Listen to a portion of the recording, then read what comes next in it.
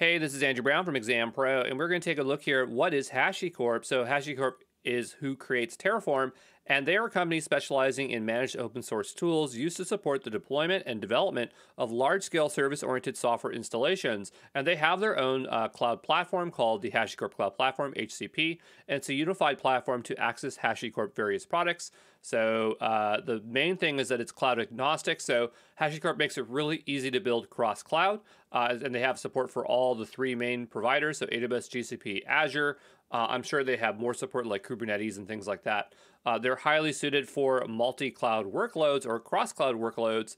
Uh, they have a lot of products that will help you out there. So let's go through them quickly. So, first we have Boundary. This is secure remote access to systems based on trusted identity. This is Consul. This is a full featured service mesh for secure service segmentation across any cloud or runtime environment. You have Nomad. This is scheduling and deployment of tasks across worker nodes in a cluster. You have Packer, which is a tool for building virtual machine images uh, that will be later uh, deployed or they will place them in a image repository. Then you have Terraform, which is infrastructure as code code software, which enables provisioning and adapting virtual infrastructure across all major providers. Then you have Terraform Cloud, and this is just a place to store and manage your IAC uh, state files and things like that with a team or just in the cloud by yourself.